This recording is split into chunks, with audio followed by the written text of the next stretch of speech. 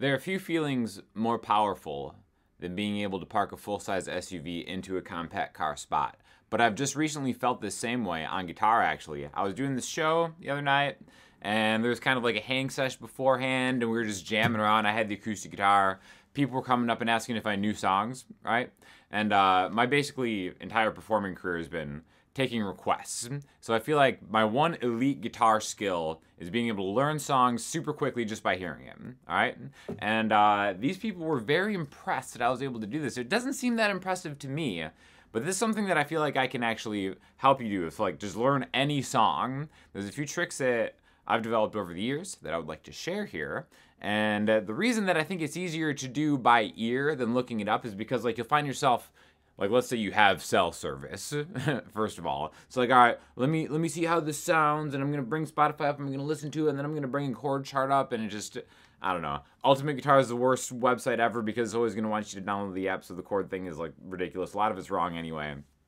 But being mm-hmm. able to like learn a few shapes and then use your ear is the most important way to learning any song and doing it pretty quickly all right? So the first thing that i want to talk about is you know, you can apply this yourself. I would say maybe watch part of this video and then just bring a song up and try to try to do this along with it. But the first thing is just mm. tracking a root note and finding the parent key of what a song is in, okay?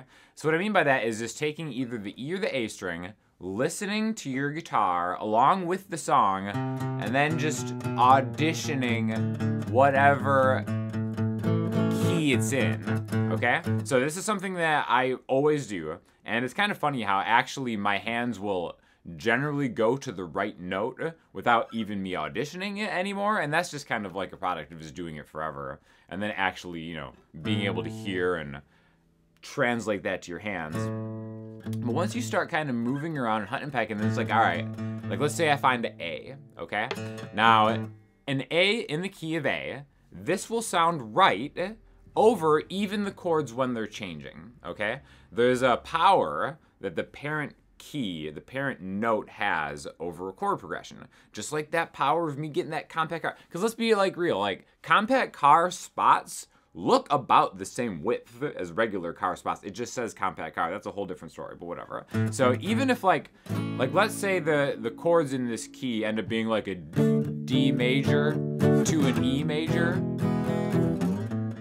that A is still gonna kind of have a, a resolution, even if you're not ending it over that entire key, right? So once you start by finding, like, all right, what is this gonna sound like? Whether it's a major key or a minor key, which we'll talk more about in a second, finding the note that sounds the best is where you start, okay? And again, your ear doesn't even have to be great. You don't have to practice ear training. You're gonna feel that one of the notes is right, okay? And it's like, all right, once you do that, then maybe you turn it into a power chord just by adding your ring finger, a string down. You turn it into a, a major or minor chord, right? That'll give you a, a clearer sense of the vibe of it's in the, a major key or a minor key. Now, again, sometimes that can take some some crazy bar chord work to do. So I would suggest if you're doing that, maybe use easier shapes like this. For the major chord, use the E major shape, even if it's a different note. Like if it's A, put that major shape under it. Right, there's E major, A major, A sharp major, B major, C major. Move that around. Audition that over the chord progression. Be like, does this sound right? Or does this sound right? Where it's, again, here's A minor. Again, not an easy A minor, but just 7, 7, 5, 7, 7, 7, 6, major, 7, 7, 5, minor. Okay? So, that might not even be the first thing you do. Sometimes just really practice that, audition that chord. We're to diagnose we're in A something. Maybe it's A major, maybe it's A minor. We don't know yet. Okay? The next step is to find out where it goes next. Now, there are some shortcuts that are to work all the time. Usually, it's going to go either to the 4 chord or the 5 chord next, whether it's major or minor, okay? What I mean by that is, if you watch my Patreon or whatever, or a bunch of my videos, you'll know that uh, you can take a, a key with the major scale and number them 1, 2, 3, 4, 5, 6, 7, 1, and all of them become chords, right? So 1, 4, 5 is like a shape coming from that scale, right? So here's the 1 chord. If you go down a string, fifth fret on the A string, there's your 4 chord. go two frets higher. There's your five chord, two frets higher. There's your six chord. So being able to number chord progressions is super, super helpful in this. That's why everybody should learn that. But beyond that, focus of this lesson is just kind of like moving around and trying to find these patterns, okay? These spaces, these intervals between chords that are really gonna help you out. And it's the most important thing for just being able to like do stuff on the fly. Now, sometimes I think even going down strings, going going this way on a guitar, can kind of eat up time. I almost think that going just left to right is a great way to kind of do stuff. So like a one, four, five is just the fifth fret, 10th fret, 12th fret in this key, okay? Now again, the frets are important here, but what's more important is, here's my first chord, five to 10, that's five frets, moving this shape five frets away, that's gonna be more important because this is the spacing, like from five to 10. And knowing that from five to 10 on the E string is the same thing from five to five on the A string. So when you're playing along, try that. Try going to that four chord. If that works, great, that's your next chord. If that doesn't work, maybe try the five chord. Now, again, in my experience, the most requested songs usually actually start off either 1 4 or it's that one progression that everyone knows. You've probably seen like an internet video on this, like, play any song with this one chord progression. That's a one, five, six, four. Okay? Million songs are just a one, five, six, four. Where like if we're in A, we've got the fifth fret on the E string, seventh fret on the A string, ninth fret on the A string, fifth fret, right? And then some combination of those four notes is gonna give you the song, all right? The beautiful thing about modern songs, maybe the not beautiful thing if you're a bit of a purist, is it's usually the same chord progression looped over and over again. It's much more likely to be one chord progression. Like every Billie Eilish song pretty much is just one chord progression loops over and over again, and they're great songs. I'm not complaining about it. It just makes this a lot easier, right? So once you be like, all right, uh, I've diagnosed this is like my parent root note, I can just get five frets higher, and that's a place to investigate okay? Now, right now, I want to change keys well, because I don't want to make this a, an A major or A minor lesson. Let's go to uh, B, right? So now, like, all right, I've unpacked around, find like there's, there's that seventh fret on the E string. All right, where do I want to go next? I do that same thing. I could try. It's like, all right, what's five frets plus seven? That's twelve. You know, all right. No, that's not. That's not quite it. Maybe I want to go lower. All right, well that's interesting. Maybe that's it. That's a good, right here, three frets behind. That's a very important interval right here. That three fret, three frets known as a minor third, if we're talking about this way. Maybe that's what I want because that's from uh, the one chord to the sixth chord going backwards. I think the thing about numbers when you first learn them, because when you first learn just numbers, you learn how to count them in order. One, two, three, four, five, six, seven, eight, nine, ten, right? Now on guitar, it's like there's still a hesitation to be like, all right, I want to keep going forward when I think going backwards is something that's actually a little more common musically. I think that we have our ears are better than we think they are in the way that we can pick up descending or ascending chord progressions, right? It's a lot easier to diagnose to be like, all right, this is a B to hear the fourth fret to the second fret to open E. And that would be a one, six, five, four. Okay? But now all of these are just spaces that you'll start to recognize with your ears, and then your hands are gonna be able to take those and put those spaces into practice, okay? And that all starts from hunting and pecking, right? Nothing wrong with that. Might take you a while. May you might not do it on your first try, your second try. You should do it in your first 12 tries. If you don't get it in 12 tries, you're wrong because one of one of those 12 was the right note. Now you also might be like, well, try doing this with a Steely Dan song. If you're gonna be the guy that's like, this method doesn't work with Steely Dan songs, you're no fun to have at the party anyways, and just recuse yourself from the premises because nobody wants to talk to you anyway, right? But what's actually gonna be a lot of fun is if you put Elixir strings on your guitar. This video is sponsored by Elixir Strings, my all-time favorite strings. I got them on this Yamaha right here. Uh, they're the best. They're the best. Also, because if you're hunting and pecking, you don't have an annoying squeaking sound because they're coated strings. So it's not gonna grate people's ears while you're hunting and pecking. If you don't have coated strings, you'll hear that really like that harsh sound of your hand sliding around the strings, and it hurts your fingers actually. If you've never tried Elixir Strings, there's an affiliate link in the title of this, in the description of this video, because these are so much easier on your fingers. They last way longer. I personally think they sound better. Sound is definitely a matter of taste. I just love Elixir Strings so much. I've used them forever that like they are the sound of acoustic guitar to me. So thank you to Elixir Strings for sponsoring this video. Let's get back to some more tips and tricks, right? So let's say we're in B. It's like, all right, I can go down strings and hunt around, but basically all the chords there are gonna be somewhere around here, and there's different devices that will just help you get there, like going back three frets. Try that out. If it's this to this, great. Maybe you can kind of continue on from there and be like, all right, well, I also know that B major is the seventh fret on the E string, or the second fret on the A string. So if you know stuff like that, like, all right, Whatever note this is on the E string, if I go back five notes and down a string, that's gonna give me the same note and I can put a chord there. That's something that's really helpful because being able to go backward as well as forward is something that will really, I, I think it's super important in being able to learn songs quickly, especially piano songs that you're transposing to guitar. Because as guitar is more of a, an instrument of movable shapes, Piano songs is more of an instrument of inversions. So you'll stay in the same area. Like let's say we just have these three frets. You could play a whole song just doing different chord voicings from this position. And that's actually how piano players move a lot. Whereas guitar players, you kind of have a little bit more horizontal movement going on through the fretboard.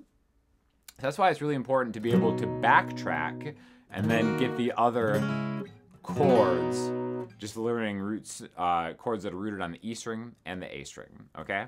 So real quick, let's just go through some, some cheater methods on how to find chords that will fit to audition to diagnose if they're the right chords or the wrong chords, okay? We'll say in B. Same string, back three frets, is a great indicator of if it's going to a minor key next, right? This is the root note, chord, the one chord, into its relative minor, the six chord, okay? Now, again, so this would be like a G sharp minor chord. But again, don't think of the name of the chord so much as like the sound of the chord. Is that right? Is that not right? If it's not right, that's fine. We're at least in position to get back into maybe the five chord and the four chord in this key, right? Because once you get to the minor, you can just go two frets back, and there's the five chord, which is a major in pretty much every song and then two frets back from there, there's another major chord. So, just as in the key of A, we are able to go one, four, five, or one, four, five, using different chord voicings across one string or down a couple strings, it's just as important and often overlooked to be able to go one, four, five, or one, five, four. But knowing, just like knowing that going five frets higher, seven plus five is 12, that's gonna get you to the four chord. Going seven frets back is also gonna get you from the one chord to the four chord, or another chord that interval, that distance away. So when you're trying stuff out, be like, all right, I know that this is right. Sometimes until your ear is really good, you might go to a four chord higher and that doesn't sound right, even if it's the right chord, okay? And that can be a confusing part, and that's something that takes a little bit of ear training to like really reconcile. But that's why it's important to know that five frets higher is the same as seven frets back, okay? What's five plus seven? 12. There's 12 notes in music, so that's how that works, right? As long as you have those intervals, five, five, five frets higher is seven frets back. Just like four frets higher is eight frets back. As long as those equal 12, because there's only 12 notes, you're going to end up getting that same chord either going higher or going lower. Hope that makes sense. All right. So, just like that, that doesn't sound right, but like it kind of sounds right. What that might mean is it actually goes lower because the root note, the bass note, Mm-hmm. has so much importance on how we perceive a chord progression moving. And especially when you're trying to learn like an acoustic version of a song quickly, and you just have like, it could just be a drum track and a bass guitar. If you just have like a bass guitar just kind of like, maybe like some kind of riff like that. It's like, all right, well, if the bass guitar is going lower, going higher on an acoustic guitar might not sound right, even though it is right. Okay? Again, for all intensive purposes, going from a B major an E major, however you do it, there's a million different ways to do it. But only one of them might sound just like the song. But the more you do this, the more you experiment with it, the more it's going to sound correct to you, or more it sound like a version of the song. Because, you know, let's face it, even though acoustic guitar is the best instrument of all time, and especially for a singer songwriter, and especially if you're kind of just doing a representation of a song, it might not sound exactly like what you're doing, or exactly like what the what the original song sounds like, but it's gonna sound like you're playing the song. And especially if your goal is just to be able to to play songs and maybe sing yourself or have other people sing, which is like such a fun time to do. It's a great community as- aspect of everything. It's something that you want to learn, even just with stuff that's like total like riffs.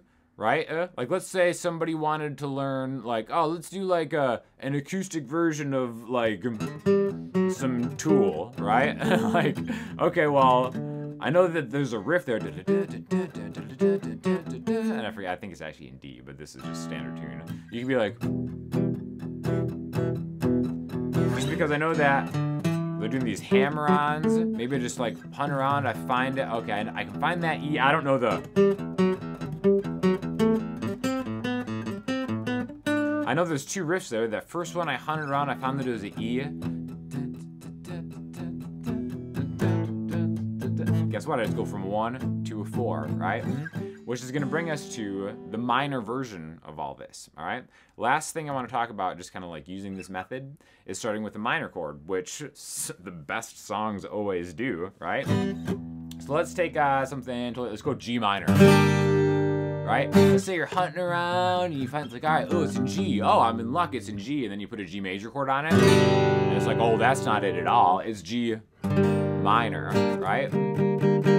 It's like, okay, usually, almost always, this is going to be, the, I still think of this as the sixth chord in a major key. Because once you start thinking of different numbers where it's like, all right, so maybe my one chord is my minor chord, and now my three chord is my major, and four and five. Once you start having different numbers for both major and minor, I think it gets a little more confusing. Whereas even if it's in a minor key, I'll still use the major numbers. What I mean by that is like if it's in G minor, I'm still thinking it's in B flat major.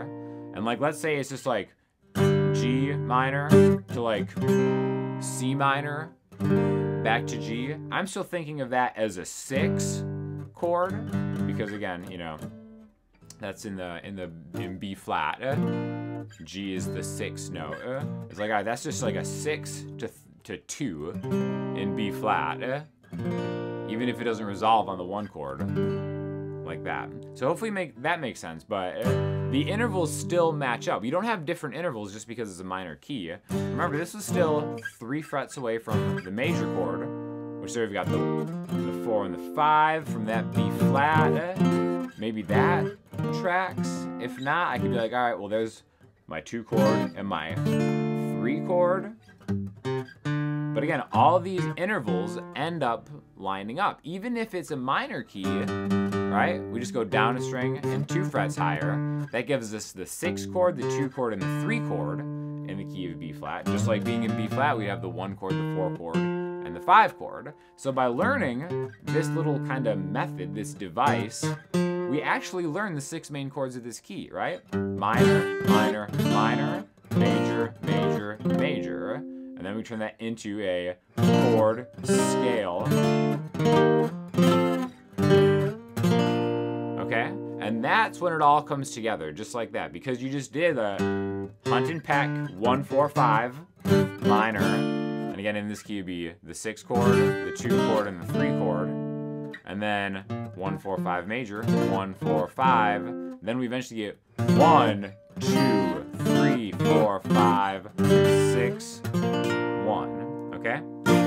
So all of that just comes from just hunting and pecking, going horizontally, using your ears, trying to figure out songs, and then what you'll find out happening is even the weird ones that have some interesting stuff happen, right?